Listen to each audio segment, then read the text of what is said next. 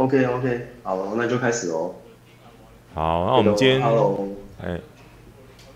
好，那今天这场就是讲这个怎么样自驾一些基本服务。如果你很注重这个个人隐私，不想被这个所谓商业公司或大公司绑架的话，因为现在很多的这个软体使用都已经跑到云端上去了，所以势必你就得贡献一些资料才能够使用这些服务嘛。所以这边就是教你怎么样去用一些自己架的基础建设来做一些服务，让你可以使用，远离这些大公司这样。啊，讲者是 Milsky，啊，他等下会自我介绍一下，我们就给讲师掌声鼓励一下。哎，Hello Hello，大家好，我是苗司机。那个今天今天的题目是远离大手绘社自家基本服务，在共笔里面已经有放投影片跟那个就是这个 B B B 的连接了。然后上 B B B 的话，请请大家记得要关麦克风，不然会有 feedback，那就会听到那个 P 的那个声音。哎，啊，如果有 Q&A 的话，欢迎大家打过来，因为我现在人人不在国内，所以就只好远端参加这样子。OK，那今天的 agenda 是这样。好，首先先安利一下，就是宣传 OCF 的培训活动，如何建立安全网络架构二，也就是之前我们有有呃请请呃 CYJ 跟 GD 跟呃利夫去。就是做呃这个如何建立安全网络架构一的活动，就是稍微介绍一下设定 router 啊、设定路由啊那一些，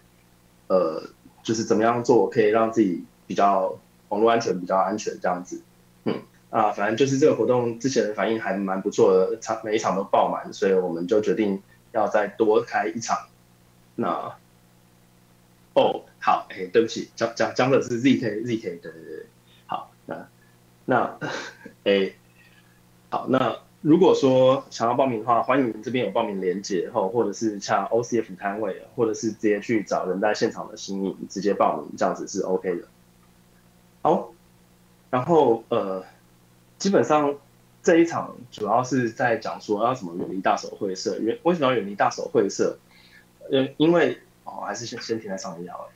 因为呃，我大概没有办法讲的比那个。那个呃，就是剩有有一本有一本书叫做那个怎么说资本，就是在讲剩余剩余的资料怎么样建构出现代新的资本主义，就是那个有一本叫做《监控资本主义》的书，那它是分上下两册，他在讲说，呃，大家的行为在网络上的行为，比如说你上 Google Gmail。呃，或 YouTube，然后你怎么点击它生产什么内容，你会点击更多的内容之类的。然后你在或者是像 Facebook，你在时间轴上面怎么样可以让你停留更久，它就会附送送一些 A/B test。然后呃，借由这个方法去收集你的使用习惯，收集你的呃个人喜好，然后尽量想办法把它转换成商业的利润，这样。那我当然我我没有办法讲的比《监控资本主义》那本书讲的更好，所以有兴趣的朋友们欢迎去看那本书。哦，那因为我真的很讨厌被别人收集我的使用习惯，所以我就想说，那所有的事情我都自己架，呃，尽量不要使用大会大大公司提供的服务，因为像 Gmail 这种是免费的嘛，那应该说现在有收费了，对，但是之前免费很久了，那免费的通常是最贵的，所以。就还是要想办法看能不能返璞归真，回到一下以前这样子。那刚刚好呢，呃，如果说各位对呃 All Saint 就是呃就是开放源丝码的呃情报收集，或者是说就是以中文来说比较像肉搜，有兴趣的话呢，呃，有一个叫做 Michael Basil 的人，他是 All Saint 的大神，那他最近刚好也做了四级的自驾服务。有兴趣可以开呃 Spotify 或者是其他的 Podcast 平台去收听他的 Podcast 这样。那内容其实是差不多，就是跟跟这次我们要讲的差不多。OK，呃，就是我假设说我们的听众都是呃已经跟开源文化跟自己架设有一点点熟的，那我们就这次主要是在讲呃一些小小的技巧，跟大家交流一下。OK，所以有有问题的话，欢迎就是在 B B B 或者是在共笔上面提出来。那第一个是我们自驾要有硬体嘛，硬体要数媒派 Digital Ocean 还是叉八六？那我个人三个都用过，我觉得数媒派主要的问题是，如果你没有加散热片的话，你在台湾很容易就热档了啊，就是说你用你用拍四或或拍三，那拍四热档，你就要去拔插头嘛。如果说你人刚好不在国内，就很尴尬。那还有就是像 QB Ball、Banana 拍、Nano 拍那一些，就是呃中国生产或者是韩国生产的比较比较呃便宜又大碗的这种单片的主机板，它常常呃 RBM 就会停止更新了。那你收不到更新之后，会蛮有资讯安全的疑虑的。那如果说你是在上面装 OpenWRT 的话，通常它会更新比较多。但是大家也知道，OpenWRT 的套件跟 Debian 的套件有一些不太一样的地方，就有的时候你想装的东西不一定会有，就稍微麻烦一点点。对，那以下是稍微安利一下，就是 呃我在网络上找到一款苏梅派的呃散热壳，还蛮好用的。对。OK，那如果是用 Digital Ocean 的话，呃，每个月五块十块美金，而且不停电，还蛮不错的。呃，对，而且他们的 DNS 服务又是免费，就很棒。可是这样就多少又违反了，呃，你不想要使用大公司。虽然 Digital Ocean 不算是太大的公司啊，对，但就是有的时候你还是想要自力更生一下，就尽量避免 Digital Ocean。那叉八六反而是我用到现在我觉得最好用的。你就是不知道为什么，就是就是呃又稳定，然后又反正不容易出问题啊，散热好啊，效能也不错，你在上面可以多跑几个 Python，没有什么问题，这样不会不会觉得有 delay。比如说像 Intel 的 NUC 系列，就虽然虽然现在好像要交给华硕呃嘛，但但是旧的还蛮不错的。或者是像熊老板卖的锐角云，就是之前用便宜的价钱捡了捡了一片，觉得也很好用的，它到现在还在上还在线上，两三年了都没有什么问题。然后或者是像呃 HP 六百 G Two 的小桌垫哦，就是呃好像有可以用，也是蛮便宜的价钱买到的啊，就自己自己升一些 RAM 那些蛮好的等等等。所以呃我的经验告诉我说，其实叉八六是最好用的。好，那。可能大家会想说，呃，那我在家里面架一个这样的服务，那我要用固定 IP 还是浮动 IP？呃，其实跟大家一般想的不一定一样，就是一般来说都是自建议使用固定 IP，自家的 postfix 会比较方便，因为你需要收信的话，你会希望说那个解出来的 IP 会稍微固定一点，不然的话到时候呃可能会有没有 bouncing，就是被退信。对，但其实。呃，你真的使用浮动 IP 的话，也不是不行，因为迫于现实，我们还是会需要使用 MSA 点 HiNet 点内来转信。那就是呃，对，该怎么说呢？就是 你服用浮动 IP 也是没有任何问题的。对，那固定 IP 比较方便的是说，像现在 Gmail 已经要求大家要使用 SPF 或 DKIM 才能够把信寄进去 Gmail 的系统里面了。所以说，如果你用浮动 IP 的话，你的 T 叉 T 也要跟着一起变，就很麻烦。然后很可能在你寄信的时候，因为呃 Google 那边呃 DKIM 或 SPF 的 DNS 的 record 没有没有更新，就把你挡掉了。所以说，就是总之固定来说，我觉得固定 IP 还是会比较好一点点。对，OK，那这是几个必备的套件，就是大家。看着看一下装一装就好了。我只是想说，顺便安利一下那个 WeChat，不是微信那个 WeChat，是 W E E Chat，它 IRC 的客户端很好用。然后呃，Supervisor 也是一个比较比较少人在用的东西，就是呃，它可以让你去呃怎么说，就是设定你要跑的 Python 程式，然后挂掉的时候，它就自动把它重新跑起来，呃，效果蛮不错的。然后像我习惯用的是呃纯文字的客户端，所以我就用 MUTT 那个 Mut 来看信。然后 Postfix 是一定要装，它让你收信这样子。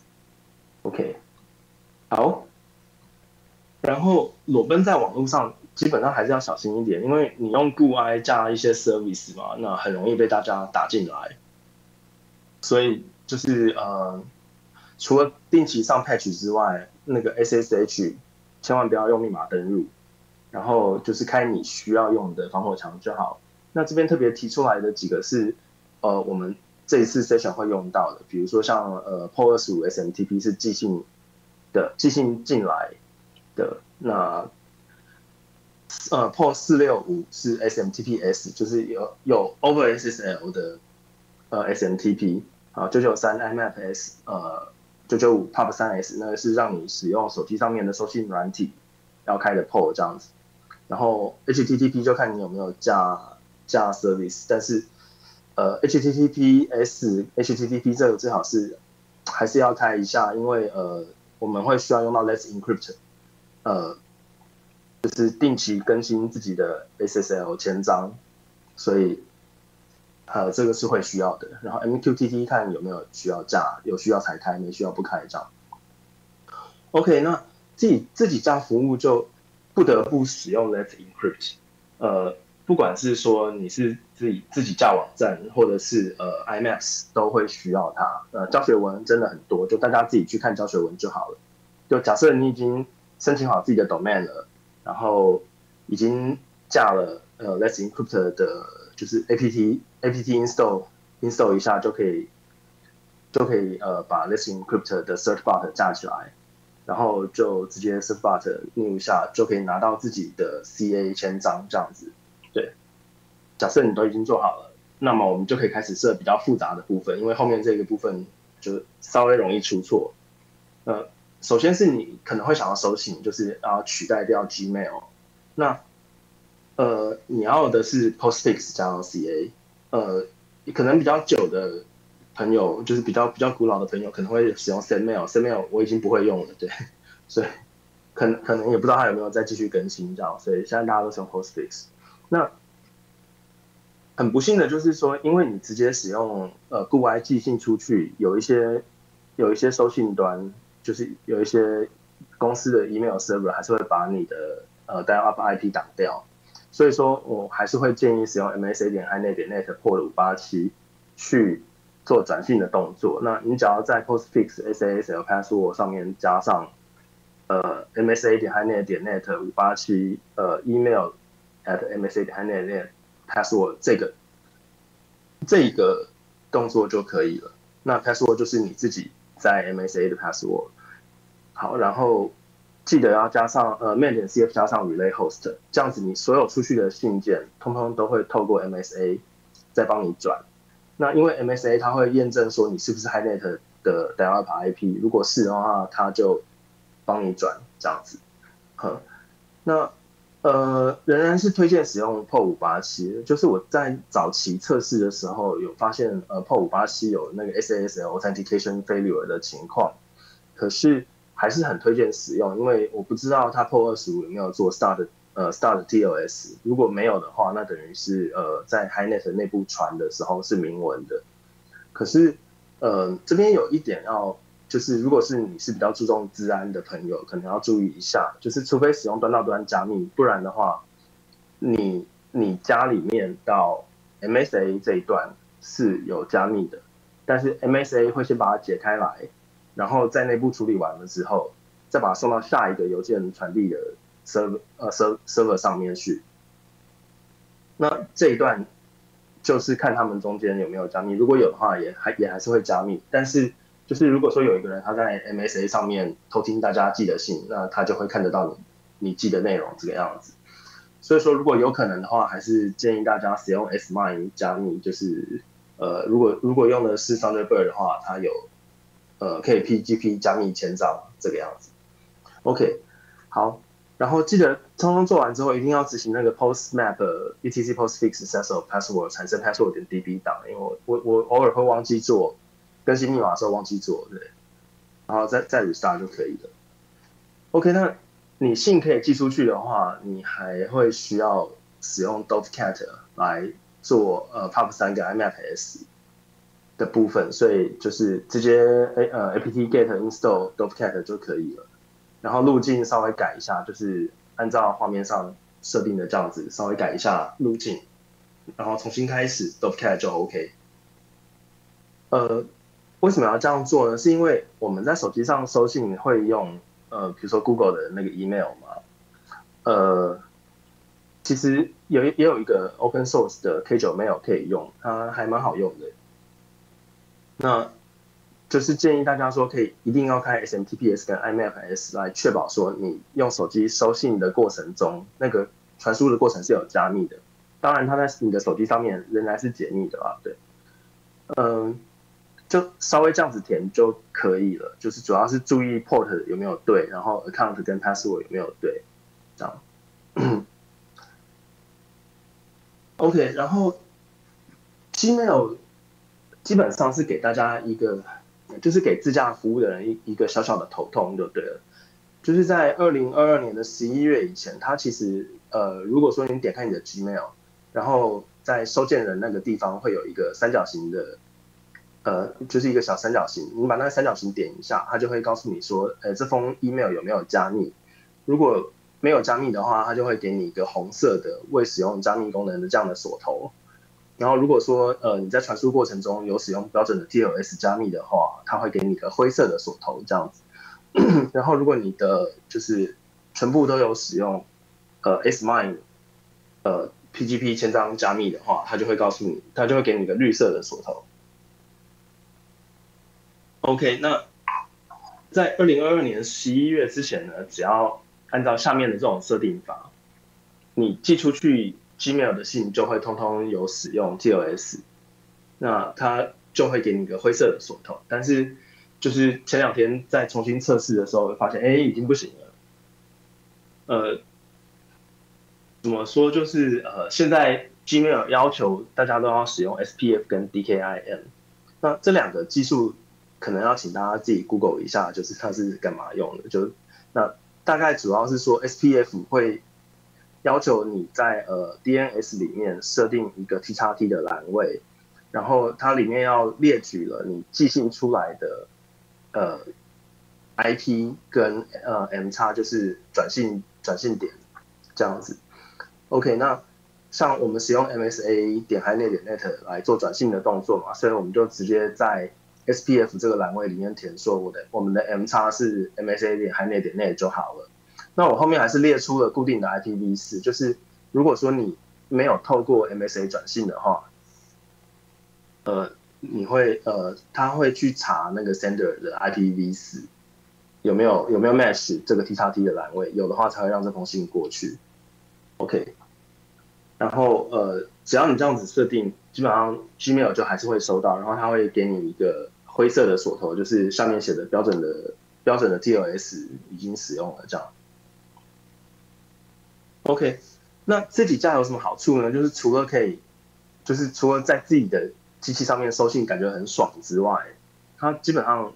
呃多了一个叫做 wildcard email 的东西，就是呃可能以前有人有听过说，哦你在比如说喵司机 at gmail 的中间用一个加号，你就可以区分很多不同的 email，比如说呃喵司机加 costcup 点呃 at gmail.com，或是呃喵司机加某某论坛 at gmail.com 这样子，但其实呃。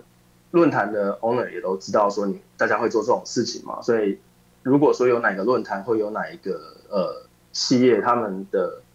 就是有有一些不孝员工可能会把个人大家的各自外流去赚一些小小的 email 就是 email 的钱嘛的时候，呃就会把那个加号拿掉，那他就知道说你原来的 email，你也就不会就无从得知说你的 email 是从哪里流出来的。OK，那。这个时候，wildcard email 就很好用了，因为你就可以产生无限个的，比如说呃，costcup at 喵 c g 点 idv 点 tw，呃，什么论坛一 at 喵 c g idv 点 tw，呃论坛二 at 喵 c g 之类的，就是你可以升一大堆的 email，然后你要升几个都可以，然后你可以用这个去论坛上面注册很多的账号，然后呃你在就是。按照这样子设定，就是 at 喵 c g 点 id 点 tw，比如 myunixaccount 填进去之后，再 postmap，呃，etc postfix virtual 就可以收到呃所有呃喵 c g 点 id 点 tw 的账号呃的的的 email 这样子。那效果还效果还蛮不错的，就是比如说大家可以看到下面的 screenshot，我其实这次注册 Costcup 用的是 Costcup at 然后四 G 点 ID 点 W，那它一样会进到我的 Moot 的信箱里面来。那有人就会问说，呃，如果我回信的话，那会不会使用原来的 email 回信？其实 Moot 早就有支援 Wildcard email 了，你就就是在 Moot RC 里面加一行 set reverse name 的 yes。那很不幸，就是 K 九 email 没有支援这件事情。然后，如果你是用 Thunderbird 的话，那 Thunderbird 有让你可以手动修改 from，所以可能每一次回信的时候，你就要稍微修改一下。对。OK，那基本上 email 是自驾所有服务里面最困难的啊。呃，如果像是架 blog 的话，就很很很简单。呃。因为我自己是做治安的，我不是我不会建议大家说是在家里面架 WordPress 啊，或者是呃 Jungle 啊，或者其他的 CMS。我会比较建议说，通通都用静态的会比较安全。那如果说像这个投影片就是用 Remark.js 在做的，所以说如果你要在自自家的 HTTP 上面分享投影片的话，建议大家使用 Remark.js，然后就。就反正就很单纯，你就把它当 Markdown 来写，然后写一写，它就自自动帮你变成投影片了，就很效果很好。那呃，像这一份投这一份简报的投影片，也大家也可以上 GitHub 去看一下它的原始码，就知道说呃，就是写起来很单纯这样。对，那如果是呃比较长的 blog 文章的话，就可以使用 ZeroMD。像这边有一个例子是如如何逃离 Google 之一的 ZeroMD 这样。你就设定一下 SRC，它就会自己去帮你抓那个 Markdown，然后以后你有更新 Markdown，它就帮会帮你 render，这样效果还蛮好的。对。那有人会问说，哎，我如果不用，比如说我不用不用 Google Drive，我不用图片的自动上传服务，那样要怎么办？有一些人可能会使用像是呃 QNAP 或者是呃 Synology 的 NAS 的提供的功能嘛。对，那效果也不错啊。对，但我个人是比较不喜欢依靠所有的公司。对，而且，就是 Synology 他们就比较是公司的服务，我喜欢的是自己架的自呃开放源码的服务这样子。那像呃，如果想要在多个装置之间同步档案、同步照片、同步形式力、同步联络人，都可以使用 ThinkSync 这个这个软体。ThinkSync 也是一个开放源码的软体，然后它最大的功能其实是，就算是你东西放在内网，它也是有有一个那个 Stun Server 可以让你去透，就是可以可以帮你从内网 relay 出来就对了。然后你可以有各种不同的远端装置去加入这个 ThinkSync 的 pool，然后你可以就是呃 A A 装置可以信任 B 装置，B 装置信任 C 装置，然后就从 A 把档案传到 B，再传到 C，或者是你直接 A 跟 C。对传，然后你可以决定说哪一个资料夹它是就是 read only，哪个资料夹是 write only，哪个资料夹两边同步，然后你可以就是大家通通串在一起变成一个网状的连接，你可以使用星状连接，你可以之类的，就是有各种不同的操作，就非常的各种不同拓扑啊，很方便，自己自己操作自己设定这样子。那为什么要 ThinkSync？因为 ThinkSync 是剩下的服务。会需要的东西，比如说像行事历跟联络人，大家大家可能都还是用 Google Calendar 和那个 Google 联络人嘛，就有的时候还会分享，不小心分享出去给其他的 App，就会把把朋友的电话卖掉啊。那基本上 Android 我就是一律建议使用这个 Deck 呃 DeckSync CC，呃我不太确定 DeckSync CC 在呃 Google Play 上面有没有。但是我知就是我我会在 Android 上面安装 F-Droid，那 F-Droid 也是一个开放源码的那个呃应应用程式的市集这样子，呃，所以如果你用 F-Droid 或者是你用 Google Play，应该都可以找得到 d e e p s y n c CC。那 d e e p s y n c CC 是一个呃，它可以让你有提供 Calendar 跟提供联络人的服务，它就是你把它装到手机上之后啊，你就可以是继续使用原来的 Google Calendar 的那个 App，但是它就会变成一个 TextSync Calendar，然后所有的东西都会写入呃你的 Android 的 TextSync 目录，然后你再去 sync 这个目录，你就可以在不同的装置之间同步这个联这个形式力了。啊，联络人也可以这个方用这个方法去同步，所以效果就很好，而且你就不需要把你的联络人跟形式力卖给大公司知道这样子。那像照片也是一样，呃，就是有些人 Google 没有没有花钱买，你就是使用呃普通画质的照片同步这样照照片备份服务。那如果你想要备份完整大小的照片，或者是你就是完全不想让 Google 去从照片里面截取任何的像是脸啊，或者是呃什么，Google 现在也可以辨认猫啊、狗啊、物物体啊那一些。如果你真的不喜欢，你也可以使用 SyncSync，然后你把 Google 备份关掉就好了，然后用 SyncSync 去 sync 回自己家里面的机器。嗯，就是档案很大也没有关系，它就是直接 sync 回去这样子。OK。啊，这一页基本上只是想要干掉一下而已。对，猫脸辨识不是说要开源他们的猫脸辨识软体嘛？怎么到现在什么什么什么消息都没听到，然后继续继续去做下一个生意这样子？我觉得，嗯，作作为一个赞助人，我觉得心情不是很好。这样，对，那其实就是作为一个多猫家庭家庭的家长，我觉得呃，观察猫咪大便是非常重要的事情。对。那如果猫咪有有就是大小便有问题的话，早发现早治疗效果很好。可是对目前还没有找到好的猫脸辨识软体。如果有有人有的话，欢迎跟我说一下这样子。OK，然后这边是参考资料，那投影片是 CC 版 SA 四点零，欢迎大家就是拿去重复利用这样子。好，那看看还有三分钟，看看还有什么问题，欢迎大家提出来，谢谢。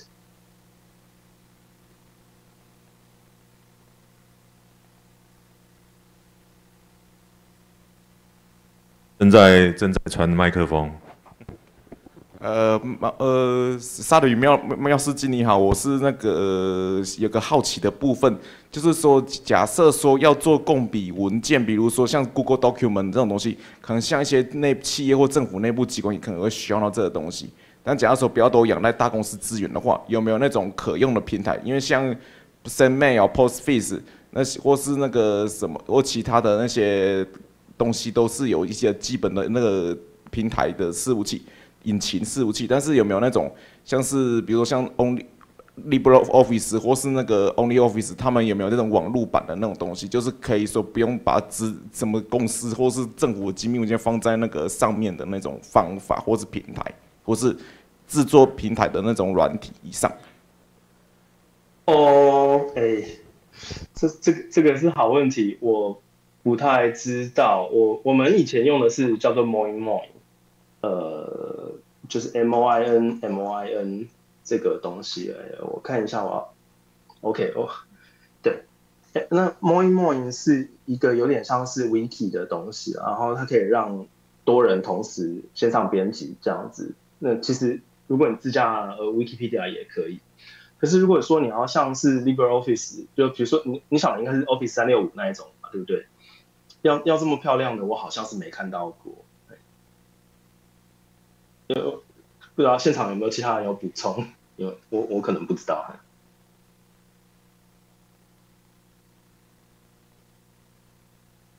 好，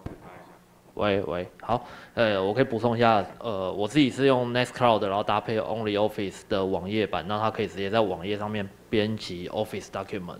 包含 DOC、Excel 等等。那呃，那我这边有一个问题想了想了解，那呃是通偏向通讯软体，因为像我们像 Line、Skype 这些东西也都架在别别人家，那有建议如果想要自驾通讯软体的部分话，从哪一个下手会比较好？谢谢。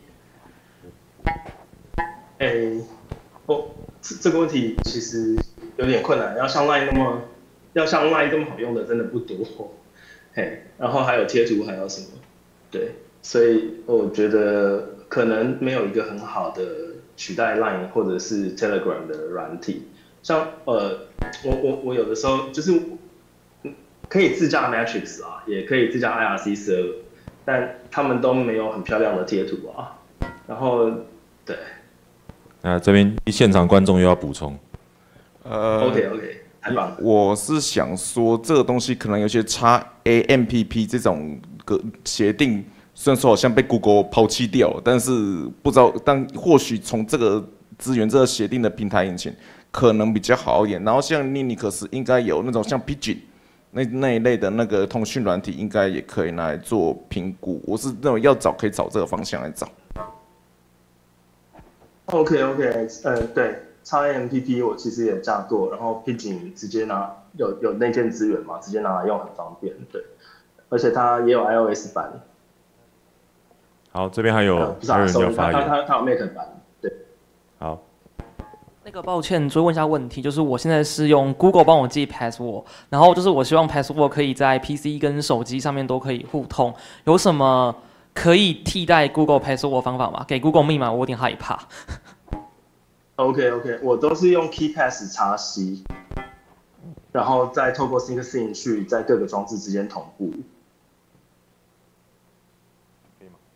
嗯，对，感谢，忘忘记写这个部分，这个很重要。好，现场还有人要问问题吗？